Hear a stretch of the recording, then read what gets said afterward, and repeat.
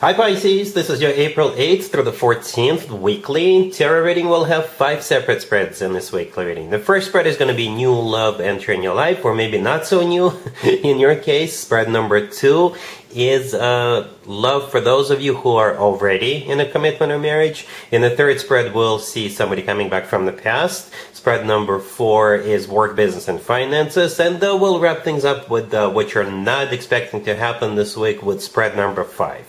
Please like, share, and subscribe to support this channel. So this first spread is on new or not so new love this week. We have the Six of Cups clarified by the Eight of Pentacles. We have the Queen of Cups.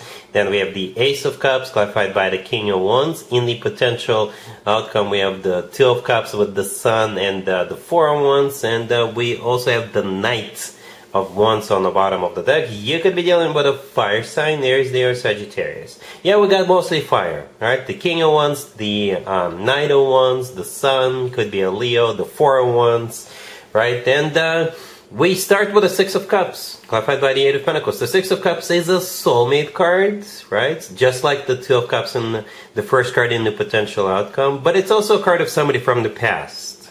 Not necessarily an ex. It could just be somebody from your past especially if you used to work with this person. Because the Six of Cups is clarified by the Eight of Pentacles, which could be interpreted as a card of work, business, and finances. Alright? And at the same time, the Eight of Pentacles could be somebody who is diligently working on something. Or themselves. Perhaps you haven't seen this person in a long time. This time, this week, they show up and you wouldn't recognize them anymore, right? Because they worked on themselves. They worked out their issues, you know, physical and mental, what have you. They worked them out. All right. Uh, the Six of Cups with the Eight of Pentacles. Yes, somebody you could have worked with in the past, or perhaps you start a new job this week and this person already works there, and you're like, oh my god, hey, long time no see. Or it could be the other way around. This person starts at your workplace and you guys used to work together, or something like that. All right. Or you may just run into this person while you're grocery shopping or while you're out socializing. And this is somebody you used to work with. Um, the King of Wands, right there in the middle, clarifying the Ace of Cups. That would be the person. the Knight of Wands on the bottom of the deck is also their energy, so it could be a fire sign, Aries Leo, Sagittarius, or somebody with a lot of fire in their chart. And I think you guys will hit it off. the Knight of Wands is not only a fire sign indicator, this is the most passionate knight out of all four knights. Alright, so things may get spicy and hot between the two of you. But I also like how the King of Wands is clarifying the Ace of Cups. Right? Passion is good. Passion is good, but there's also love with that Ace of Cups. The Ace of Cups is the most loving ace uh, out of all four aces. This is true, genuine, authentic love ace. And uh, yeah, I see you two getting the show on the road. With the Two of Cups, the Sun, and the, the Four of Wands in the potential outcome, definitely, right? It is the potential outcome, but there's one major arcana card in there, the Sun. If this person is a Leo, it makes total sense. The Sun is a Leo major arcana card, but the Sun is not only a Leo card, it's the happiest card in the deck. Alright? It is the happiest card in the deck, and as I've already mentioned, the Two of Cups is also a soulmate card. All right, so this definitely, this person is definitely your soulmate. And uh, the Four of Wands right next to the deck is a card of a commitment and marriage. Some people call it the 1111 card. To me personally, the Four of Wands always reminds me of an actual wedding. Because in some cultures, when people get married, they do it underneath this canopy, the structure. And uh, the structure in the Four Wands always reminds me of that. I think it's going to happen real quick. I think you know this person. So you you may not need to go on 100 dates to figure out if you want to get anything going with this person. All right, I think you already know whom you're dealing with, and I think you guys are going to be, you know, perhaps in the past one of you or both of you were unavailable, but you may have had feelings for this person, but it was inappropriate, or they, like I said, they were unavailable. This time, both of you are available, single and ready to mingle, and uh, off into the sunset the two of you go. really happy for you, Pisces. Congratulations. If you are already in a relationship or married, Pisces, this spread is for you. We have uh, the King of Cups, the Page of Cups, clarified by the Three of Cups. Um, we have the Moon and Temperance on the bottom of the deck. You could be dealing with a fellow water sign. uh, Cancer, Scorpio, or another Pisces, right? So we actually have water across the board, except for that Temperance card, right? Uh, but even in the Temperance card, the, the angel or the deity is standing up and they're pouring liquid from one cup to another. Liquid is emotions, right? Liquid is water. it's all water across the boards. So this is a very watery, very emotional type of a situation. And it kind of feels like an apology, to be honest with you. Right? As a matter of fact, an apology was the first thing that I thought of. The Page of Cups could be an apology. Temperance could be a card of healing, bearing the hatchet, you know, rebalancing things, getting back together, or, or you know, reestablishing, going back to normal, basically. Right? The moon right next to the deck, that's you. Pisces, that's your major arcana card. And the King of Cups could also be a water sign right? The King of Cups is actually somebody who is like very loving uh, type of a person. And the Page of Cups is clarified by the Three of Cups. The Three of Cups could be like, please forgive me, honey, let's go out and celebrate or something like that. All right? Uh, the Three of Cups could be maybe a gift certificate to a spa or gift certificate to somewhere else to go shopping or what have you. But uh, it, it almost, yeah, it feels like you guys are going back to normal. All right? Cool. Let's see if anybody comes back from the past for you, Pisces, this week. Keep in mind it doesn't have to be the most recent X. Also keep in mind Mercury is still in retrograde.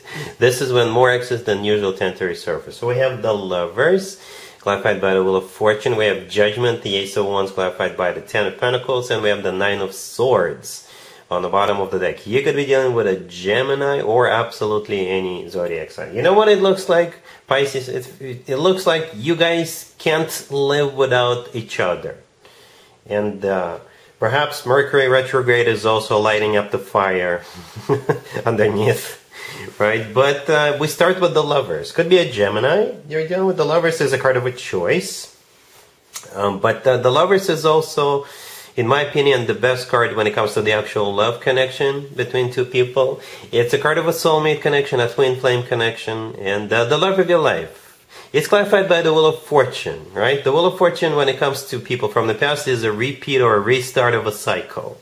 And perhaps you two finally learned your lessons. Because those, those were painful lessons, according to that Nine of Swords on the bottom of the deck right? It's a card of somebody who is really stressed out, somebody who cries themselves to sleep, somebody who thinks something like, oh my God, what have I done? Or what have we done? I can't live without this person. I'm so still in love with this person. Right? So here comes judgment in the middle. It is a card of somebody coming back from the past, and it's also a card of uh, having to make a judgment call. And uh, I really like how it's followed up by the Ace of Wands and the Ten of Pentacles. Right? The Ace of Wands is. Uh, a spark reignited between you two. And the Ten of Pentacles is a card of a commitment of marriage. Commitment or marriage. Alright, so I think it is a reconciliation. Alright, cool. Let's talk about your work, your business, and your finances, uh, Pisces, this week. We have uh, the Knight of Pentacles, the Four of Cups, the Eight of Pentacles, and uh, the World on the bottom of the deck. Well, uh, somebody's coming your way, Pisces, with an offer, but you're like, um, no, thanks, but no thanks.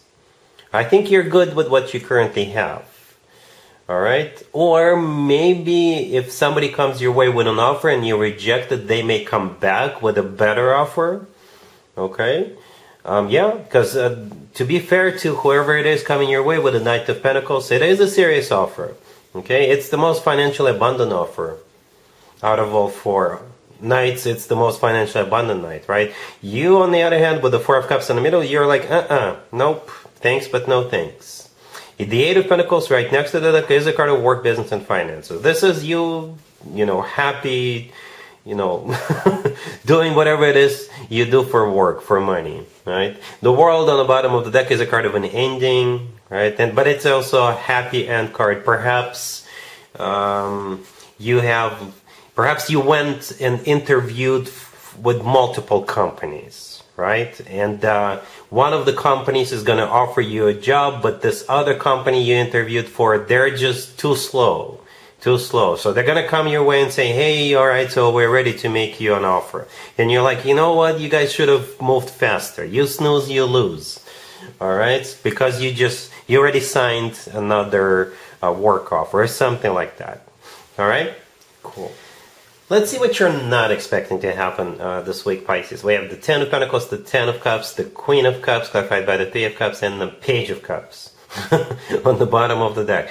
I assume you're the Queen of Cups here, Pisces. And uh, what you're not expecting, you'll be invited to some kind of a family-oriented celebration. You know, it, if you have, it could be like a birthday party, okay? Because uh, we're in the middle of an Aries birthday season, so if you have an Aries friend or a family member, perhaps they're throwing, uh, there is a surprise birthday party or something like that. But um, you could be invited to go to a wedding to an engagement party, um, maybe a baby shower or a housewarming party, right? Because we have two marriage cards on the table, two family cards, the Ten of Pentacles and the Ten of Cups, right? So th those two are commitment or marriage or family cards.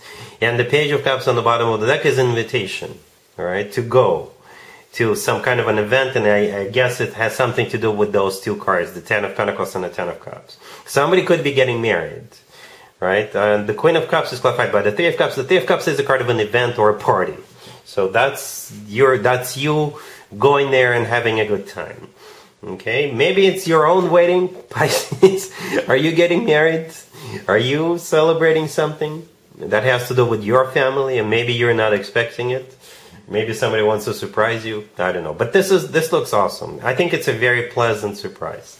All right, so uh, that's what I have for you, Pisces, for this reading for this week. If this video resonates with you, please like it. Please also share and subscribe. And uh, other than that, Pisces, have an amazing week.